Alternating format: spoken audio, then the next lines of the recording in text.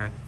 All right, so we have the size 14 pattern here, and I went ahead and marked our 5 8 inch seam allowance just so that we can see what we're doing. So I've marked it here, and this is our dot, and then I've marked my dot here, which is 5 8 in from each edge.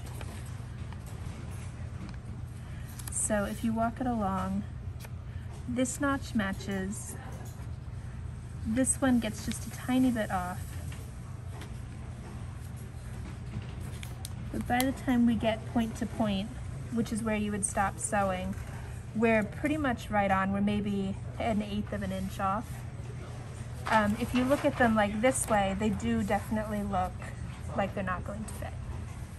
But once you, this part's really important that you mark that on each and maybe put your pin in there first